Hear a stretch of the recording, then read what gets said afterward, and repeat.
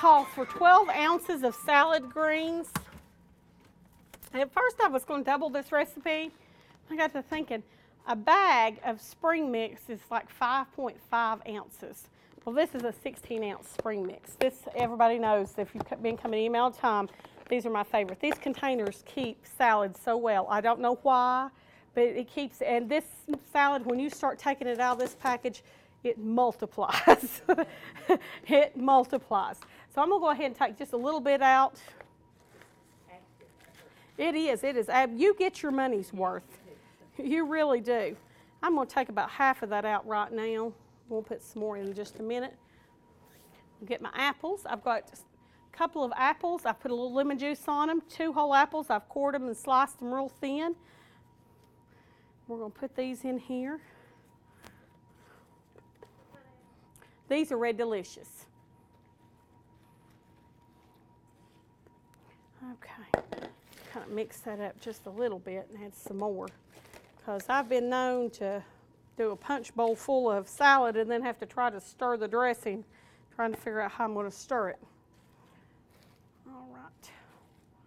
So this makes a lot. So you can cut this down.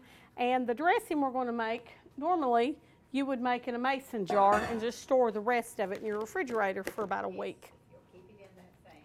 And uh, I didn't bring a mason jar tonight, so unfortunately, you shake it and, and save it that way.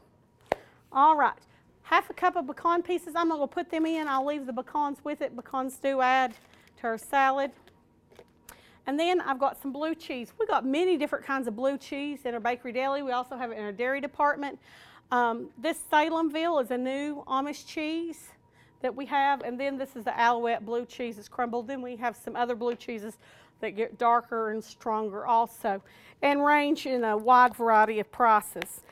Um, I believe this one is a, before you ask Nancy, is about I think it's three forty nine a container.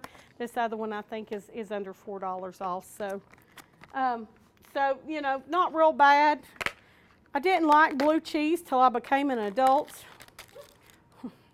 and now I really like it. It- but I didn't like it.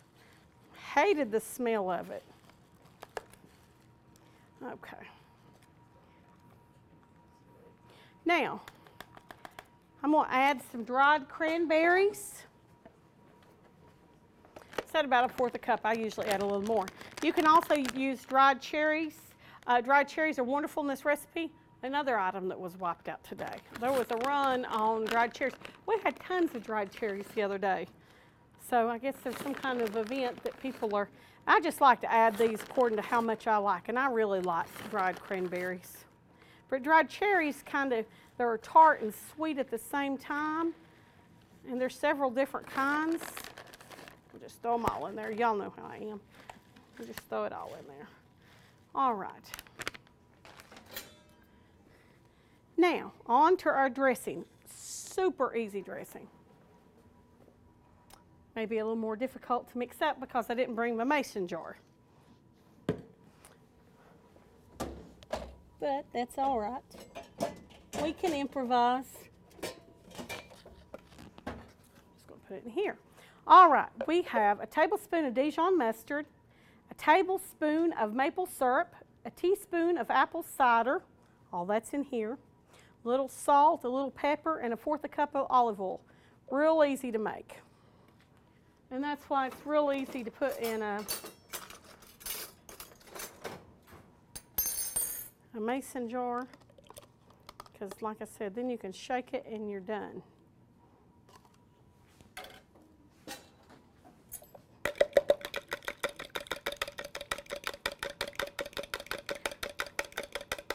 Just, just really is a nice accompaniment to apples.